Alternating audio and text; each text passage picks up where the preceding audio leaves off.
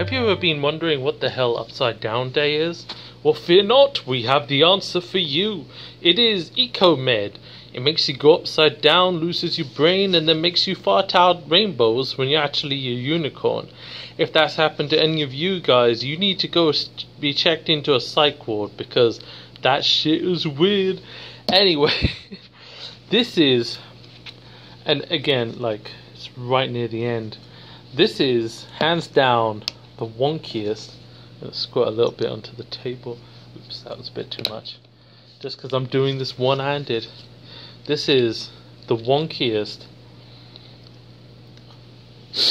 Oh, frick. That smells like hell. God damn. I'm sorry, I shouldn't be using the Lord's, Lord in, Lord's word in vain. I apologize, stuck for la. Anyway, um, so yeah, e- EcoMed.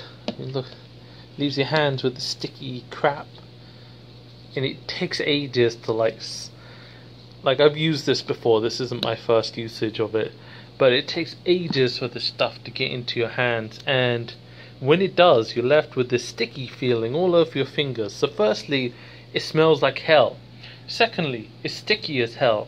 And thirdly, I just don't like it. Like, as in this, this stuff is like a bomb. Like the smell, not an actual explosive. Um, and you put it on, you you get it on your hand, and there's like a shock wave of of just stench that hits you.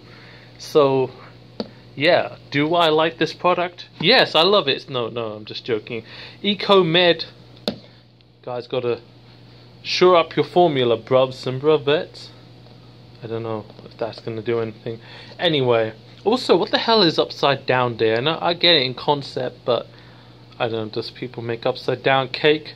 Anyway, so this is my weird quick review on Eco EcoMed Doohicula. I mean, it's got a Canadian flag, so I guess half a thumbs up just for the Canadian flag. That That's legit all they get. Nothing else.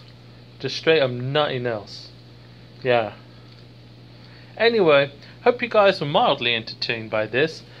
Stay safe, be safe, do not eat cabbages that smell like onions, and have a great day. Bye.